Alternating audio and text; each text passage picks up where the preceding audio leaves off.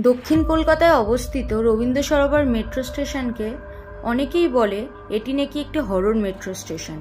কলকাতার জাতীয় হ্রদ বা রবীন্দ্র সরোবর লেকের ঠিক পাশেই এই রবীন্দ্র সরোবর মেট্রো স্টেশনটি অবস্থিত। অনেকেই দাবি করেছেন যে রাত দশটা পঁচিশের লাস্ট ট্রেনে কিছু প্যারানর্মাল অ্যাক্টিভিটিস দেখা গেছে এবং যে সকল যাত্রীরা রাত দশটা পঁচিশে লাস্ট ট্রেনে এই রবীন্দ্র সরোবর মেট্রো স্টেশন দিয়ে যাতায়াত করে। তাদের মধ্যে বেশ কিছু মানুষ একটি ছায়ামূর্তিকে দেখেছে। এই মেট্রো স্টেশনকে অনেকে সুইসাইড পয়েন্ট বলেও বলে থাকে। তার কারণ হলো এই মেট্রো স্টেশনে বহু মানুষ সুইসাইড করেছে।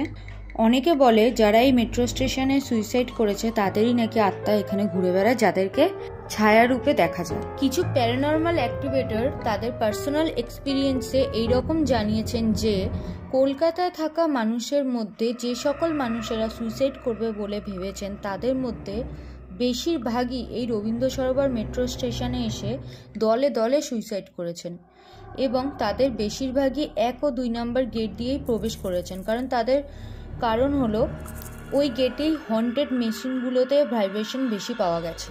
মেট্রো লাইনে ঝাঁপ দিয়ে সুইসাইডের ঘটনা তার নতুন কিছু না। আর তা বেশিরভাগই ঘটে এই Rabindra Sarobar metro station. Rabindra Sarobar train যখন স্প্ল্যানেটের দিকে আসছিল, তখন ট্রেনের চালক রেল লাইন ধরে একজনকে দৌড়াতে দেখে এবং সঙ্গে সঙ্গে এমার্জেন্সি ব্রেক মেরে ট্রেনটিকে থামিয়ে দেয় এবং সেই ছায়ামূর্তি সরে গেলে তিনি পুনরায় ট্রেনটিকে চালাতে আবার শুরু করে। ট্রেন কেন এতক্ষণ দাঁড়িয়ে রইল তাই নিয়ে হইচই শুরু হয়। মেট্রো কর্তারা এই ঘটনাকে যান্ত্রিক ত্রুটি বলে ব্যাখ্যা করে এবং কেউ কেউ বলেন যে ট্রেনের চালক নাকি ভূত দেখেছেন। যদিও ট্রেন চলাকালীন কেউ যদি সুরঙ্গের ভিতরে যায় তার দায় হল মেট্রো কর্তৃপক্ষের। সেই দিন আসলে কি ঘটেছিল তার ব্যাখ্যা আজও পাওয়া যায়নি। অনেকে আবার এই স্টেশনের নাম দিয়েছে প্যারাডাইট অফ সুইসাইড। কারণ হয়তো এত আত্মহত্যার ঘটনা আর কোনো মেট্রো স্টেশনে নেই। এইভাবেই বছরের পর বছর সুইসাইড এবং ভয়ানক ঘটনাগুলি হয়ে আসছে এই স্টেশনে।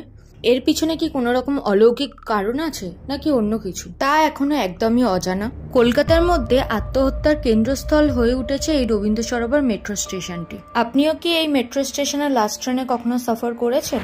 আপনারও কি কোনো ভৌতিক এক্সপিরিয়েন্স হয়েছে এই রবীন্দ্র সরোবর মেট্রো স্টেশনে? তাহলে তা আমাকে অবশ্যই কমেন্টসে জানান। ভিডিওটা যদি ভালো লাগে তাহলে অবশ্যই লাইক করুন আর সাবস্ক্রাইব করে চ্যানেলটিকে পাশে থাকা বেল আইকনটি প্রেস করে দিন, যাতে আরও এরকম ভালো ভালো ভিডিও আপলোড করলে আপনার কাছে নোটিফিকেশান পৌঁছে যায়।